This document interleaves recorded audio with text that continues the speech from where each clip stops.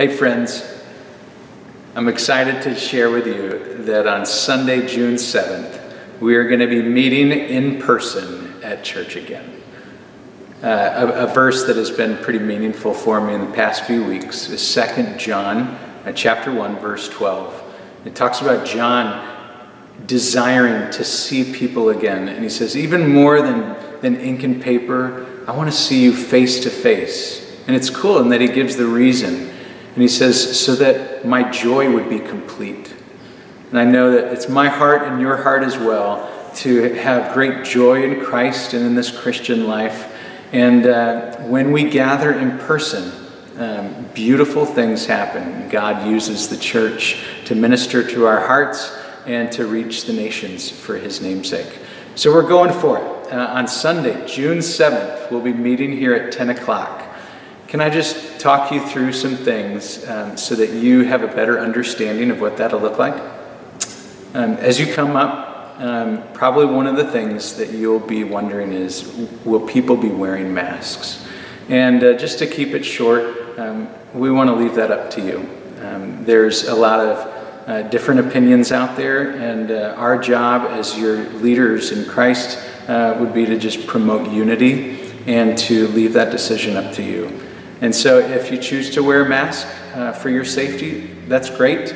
Also, if you don't feel like that's important, um, that's also great. And we would just ask that you uh, consider others and uh, keep a distance of six feet to honor the Lord uh, and the law that is uh, being um, uh, given to us. So as you come up, uh, you'll notice that we won't uh, have our coffee station. There will be no like donuts or baked goods, things like that. And we just feel like we want to eliminate um, all possibilities where people would congregate in tight quarters. And so um, um, come on in, and uh, have a seat prior to the service. Um, and if you notice behind me, um, we'll be seated in clusters as families. And so uh, we're excited to welcome the kids into the service. Uh, usually, after the singing and praying and the reading of scriptures, we dismiss for Kids Zone. But we're going to have a new normal, and uh, we're going to really embrace it as uh, God uh, seeks to strengthen His church here. And so, uh, because June, and who, who knows how long this will last, June, July, whatever, will be a little bit different, we'll, make some changes as we go. Uh, one of the things that we're doing to just plan out our time together is to have a, a unique and special time uh, for the kids. Um, we're excited to sing together. Um, I'll try to shorten my sermons a little bit, and overall, we'll just have a shorter service. Um, after the service, uh, you'll, do, you'll be dismissed by families. Isn't that crazy? And uh, we're going to welcome you to fellowship outside under the portico or outside um, under the sunshine. Uh, and it'll be great. If you're at all concerned about gathering, um, talk to us. Um, tell us how you're doing.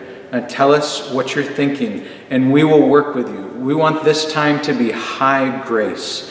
And so if you've got a little one, uh, it's going to be okay. Uh, we are okay with a little bit of sound in the service. Um, we're working hard to live stream in, in, other parts of the building, and so there's going to be options for you. Uh, as well, if you're uh, over the age of 65, we want to especially care for you and know that uh, we will continue to live stream the service if you don't feel comfortable coming to church.